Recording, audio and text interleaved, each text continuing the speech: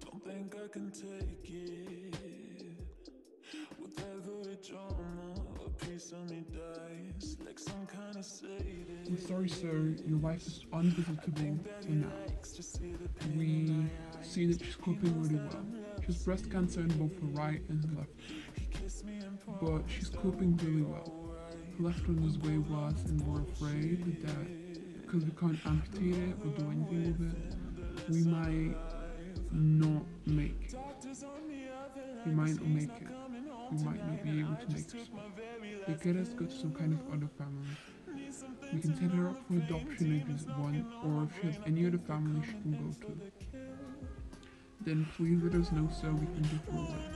You are going to a retirement home right next to the hospital. Your wife will go there too. Once, you know, gets better.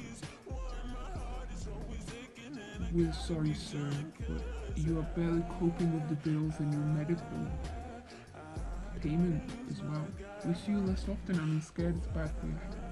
Does she have a brother or a dad? Oh, you live two streets away?